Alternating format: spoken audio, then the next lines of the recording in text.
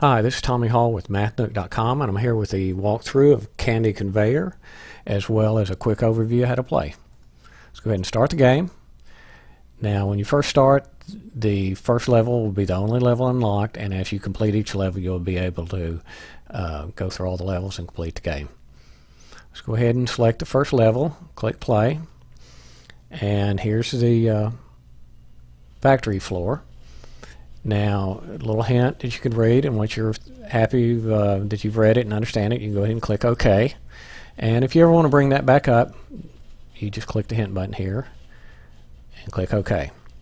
Now, the object of the game is to get each candy into its own particular bin and to do this as cheaply as possible, which means using as little of the objects and conveyor belts as possible, or I should say the links of conveyor belts, to create, create a conveyor belt, just click the icon here, hold down the left mouse button, drag your mouse, and once you're happy with it, where it is, then you release the mouse button, you got a conveyor belt. And the conveyors go in the direction that you drew it. So if I had drawn it from right to left, the candy would be going from right to left. So let's go ahead and finish the level. And if I'm happy with it, I can click check and you can see it flashes red which means tells me where a problem is and that happens when either the candy falls off on the floor or it goes into the wrong bin. Let's go ahead and finish the level correctly now. Click check and as you can see there's no red flashing and it's candy is going to bin and the level is complete.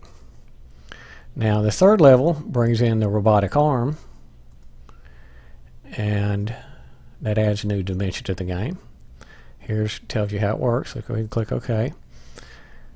And you can see now if we click check that you've got problem here with the red candy going in with the blue candy.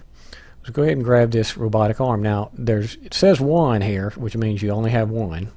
Click on it, place it where you want, and you notice that it's grayed out and you can't choose anymore. On later levels you'll have an unlimited amount and you will need them.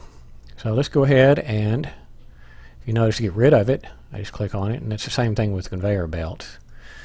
Go ahead and put one here, smallest one that we could create and if I want to get rid of that just click on it. Go ahead and put the robotic arm to grab candy and place it on the other conveyor. Now you notice it's grabbing the wrong candy and that's all due to timing so let's go ahead and get rid of that. And I will need to have it grab the red candy so I will go ahead and place it once it's over the red candy or right before it. And there you go. It looks like everything's correct. Let's go ahead and check it and that is working. So that's how you play the game. The walkthrough is going to follow in just a second. Thanks for watching. I hope you enjoyed the game